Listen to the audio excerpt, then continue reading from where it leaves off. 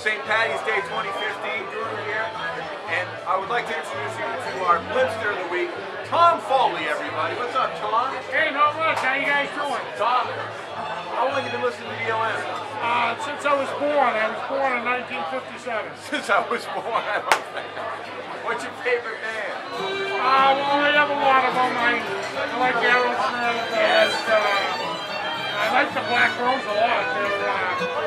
They're, they're a popular band. Were you at the 25th anniversary I was show? at the 25th. Back in 98, this guy. I was back. I was at that, uh, that uh, 25th anniversary. It was quite a bad. I'll Theater. never forget it. Yeah. And, uh, I love BLM. Every time they're around, I try to go see the, the guys. And uh, I listen to the captain and Celeste most of the time in the morning. And uh, BLM definitely is my favorite radio station.